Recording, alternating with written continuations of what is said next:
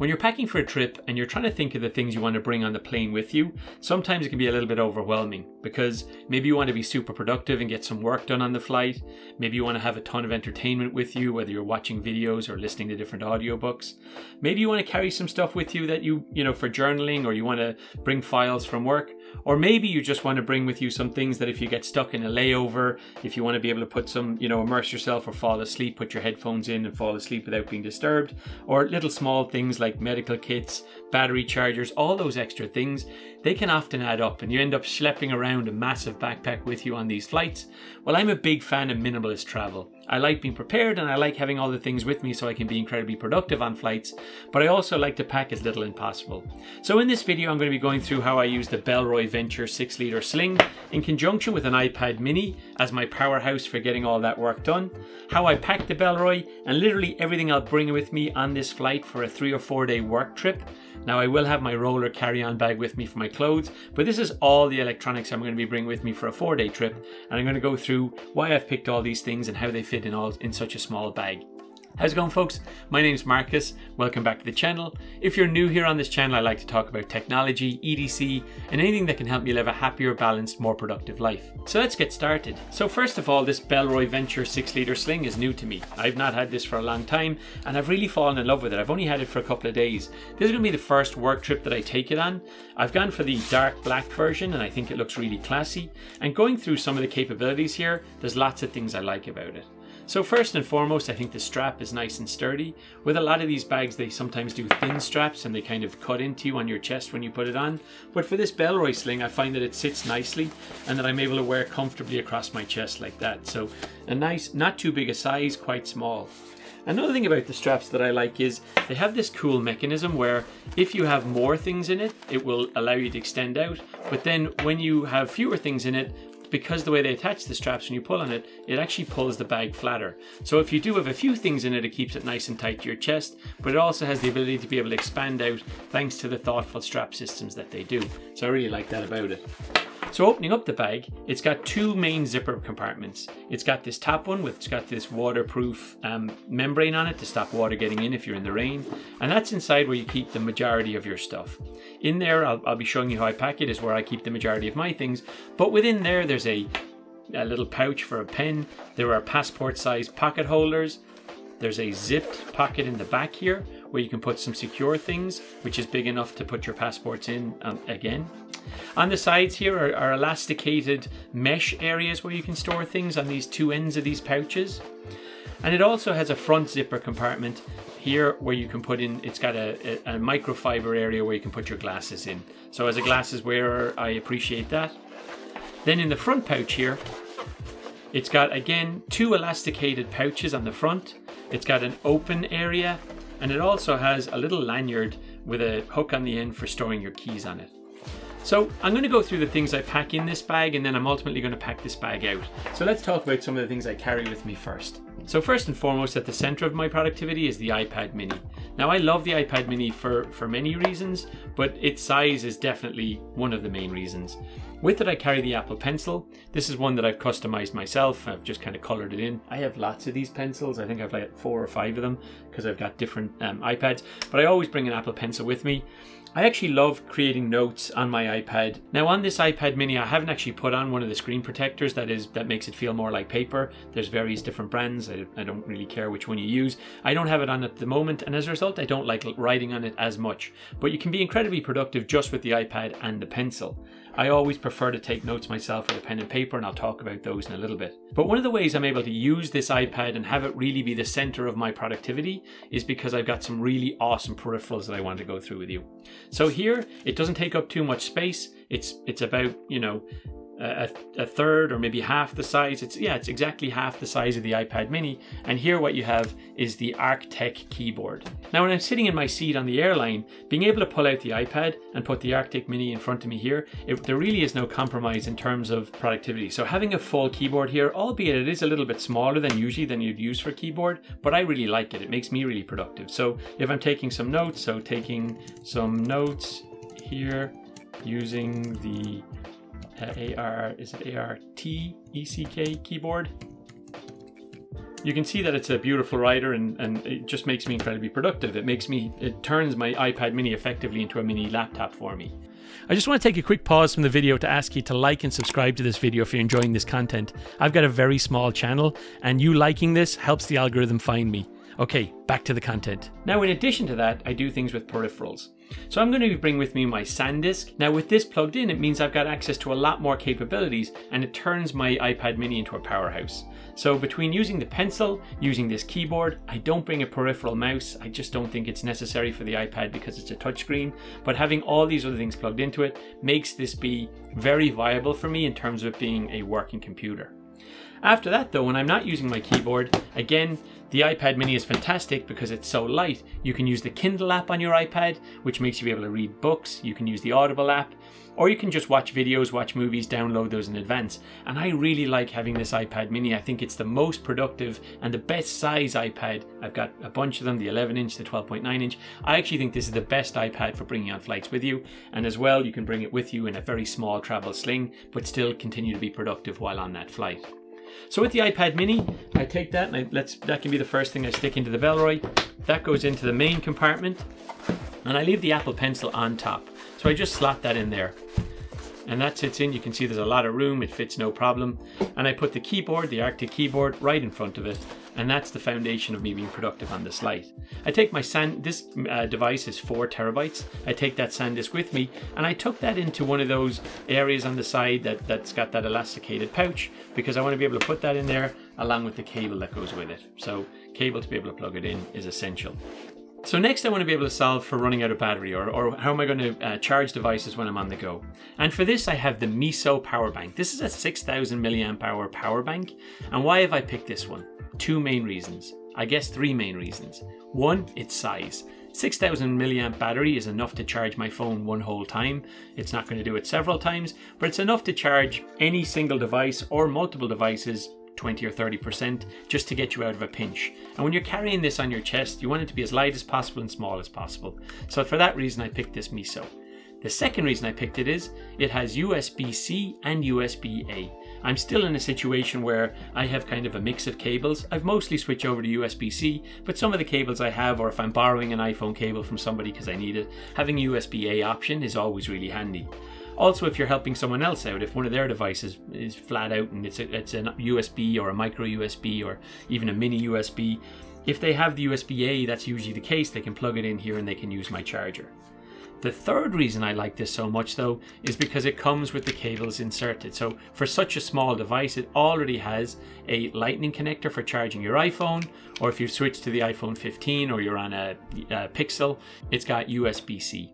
So having those two cables integral is part of it for such a small size absolutely a game changer and no brainer for me. And I stick that into the back pouch, into one of those pockets to keep it safe, snug and secure. So if I am stuck, if there's a layover, if I need to charge my phone or if I'm going somewhere quickly and I want to be able to just, just charge something while it's on my person, I'm covered to do that.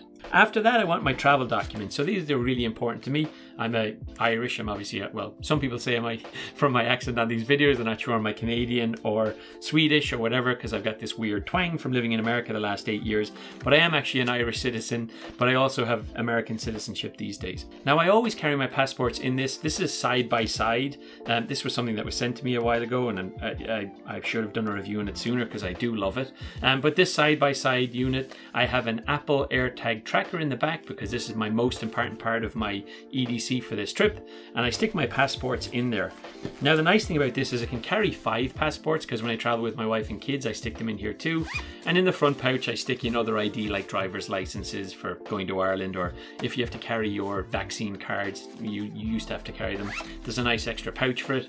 I like it also because it's got these two lanyard toggles on the side that you can just carry this yourself if you want to put it on um, if you want to attach a piece of uh, or, a, or a shoulder strap to it you can carry this on its own. But I don't ever do that. But I do keep it in here as a separate entity and it fits perfectly into that back zipping pouch.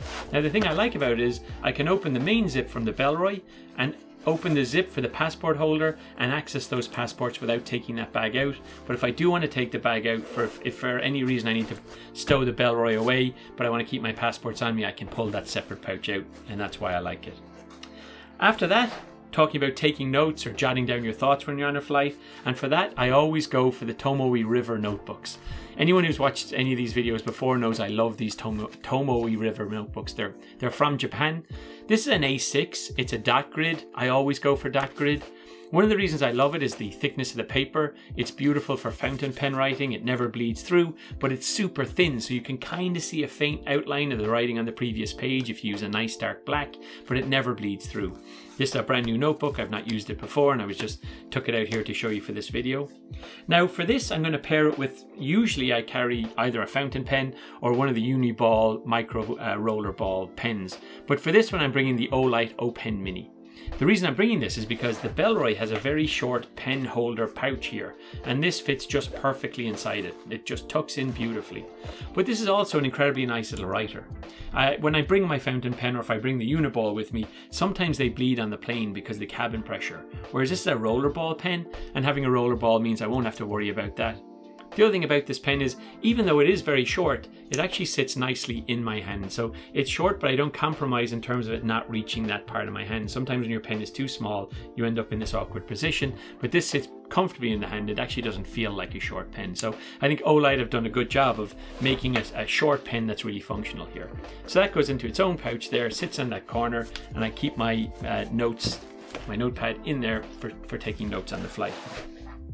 After that, I've got this little pouch that I created that's got a bunch of little stuff that's really specific to me. It's in a clear bag so that if the TSA want to see what is it, they can. There's no liquids in here, but it is some medicine. So it's ibuprofen, uh, acetaminophen. I've got some Zyrtec in there. I've got some, um, a very small little uh, pouch for hand sanitization if I want to, if I want to clean the table in front of me if it's gross when I get on board. I've got some band-aids and I've got some paramedic gloves. And that's really everything I could need from a medic kit on a flight.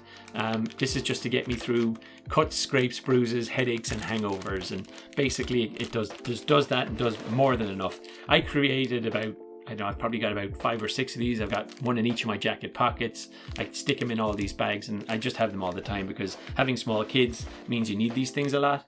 Now I stick this one in here. This goes into this back pouch next to on the other side where I've got my charger. I keep my um, medical stuff in there. Easy to access straight away. Just pull it out when I need it.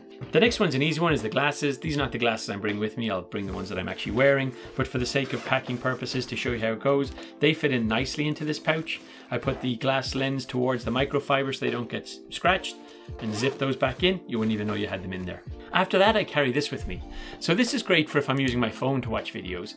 Uh, I'm not sure where I got this, but it's called the Elevation Lab phone holder. So it, it's very simple. It clips out. It's got slotted grills on it, so you can decide if you want your phone to be more upright, you pull these out more, or if you want it to be more slanted back, you slip them back more.